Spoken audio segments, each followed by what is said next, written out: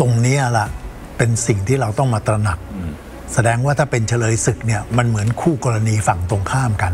นะครับ ถ้าตัวประกันเนี่ยมันยังได้หลากหลาย ไม่ได้หมายความว่าเป็นคู่กรณี ตรงนี้ก็คงจะต้องมีความตระหนัก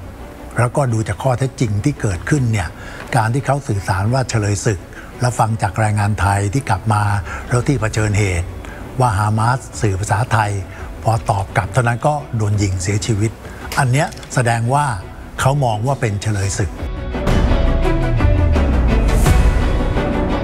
การที่เขามองว่าเป็นเฉลยศึกเนี่ยเราก็ไม่รู้ว่าฝ่ายกองกำลังเนี่ยได้ถูกการถ่ายทอดข้อมูล ว่าคนไทยเนี่ยที่ไปทำงานการเกษตร ในที่ติดกับกาซาเนี่ยฉนวนกาซาเนี่ยเอ๊ะเป็นลักษณะว่าทำงานการเกษตรไปด้วย แต่เหมือนเป็นส่วนระวังป้องกันฝ่าย สืบสภาพหาข่าวอะไรหรือเปล่าให้กับอิสราเอล ก็เลยไปตั้งว่าคนไทยนั่นแหละก็เป็นฝ่ายเดียวกับอิสราเอลด้วยความที่ถ้ามันมีปัญหาการสื่อสารกันเนี่ยมันอาจจะทำให้มองว่าเป็นศัตรูใช่ครับเป็นคู่ตรงข้ามได้ใช่ทีนี้ไอการเป็นตัวประกันกับการเป็นเฉลยศึก วิธีการที่จะไปเจรจาประสานงาน เพื่อขอให้เขาปล่อยตัวเนี่ยสารที่จะต้องไปคุยมันก็จะไม่เหมือนกันใช่ไหมครับอ่ามันคนละน้ำน้ำหนักเลย เฉลยศึกมันก็เหมือนผู้กรณีใช่ไหมครับฉะนั้นการต่อรองก็เป็นอีกแบบหนึ่งเฉลยศึกเป็นเชิงคนกลาง ไม่รู้อิโหนอิเหน่ก็ทำให้เบาลงได้นะครับ แต่ตอนเนี้ยถ้าเราดูเนี่ยเมื่อกี้ท่านจากท่านอาจารย์เลอพงษ์เนี่ยนะครับ จริงๆเนี่ยถือว่าช่องการสื่อสารที่เรามีอันเนี้ยก็ถือว่าใช้ได้ เพราะเราต้องมีช่องทางการสื่อสารที่ไปสู่ฮามาสให้ได้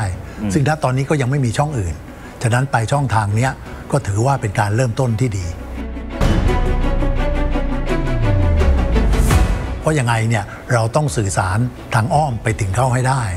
นะครับเพราะว่าเราไม่มีสิทธิ์ที่จะไปสื่อสารผ่านทางอิสราเอลหรอกเพราะเป็นคู่กรณีกัน ฉะนั้นตรงนั้นเนี่ยเขามองกันเป็นลักษณะคู่กรณี เขามองกันว่าเป็นในแง่ของผู้ก่อการร้าย ไม่ได้มองว่าฮามาสเป็นฝ่ายปกครองแต่เป็นผู้ก่อการร้ายกัน ฉะนั้นตรงเนี้ยหลักทฤษฎีของการเจรจาพูดคุยกับก่อการร้ายเนี่ยก็คือไม่ข้อแรกเลย คือไม่ยินยอมต่อข้อเรียกร้อง ของฝ่ายผู้ก่อการ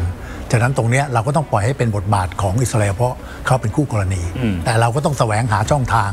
ในการติดต่อ ซึ่งถือว่าตอนเนี้ยช่องทางนี้ก็มีน้ำหนักในระดับหนึ่ง แต่ตรงเนี้ยเมื่อมันสื่อไปถึงแล้วน้ำหนักจะมากน้อยแค่ไหนเนี่ยก็ต้องดูพัฒนาการของการพูดคุยไปครับขอบคุณทุกการรับชมนะครับ แล้วก็อย่าลืมกดไลค์ กดแชร์นะฮะ เพจ Facebook คมชลึก รวมถึงทุกๆแพลตฟอร์มของทางคมชลึก ไม่ว่าจะเป็น YouTube TikTok Twitter แล้วก็อย่าลืมกด Subscribe ให้ด้วยนะฮะ เป็นกำลังใจกันครับ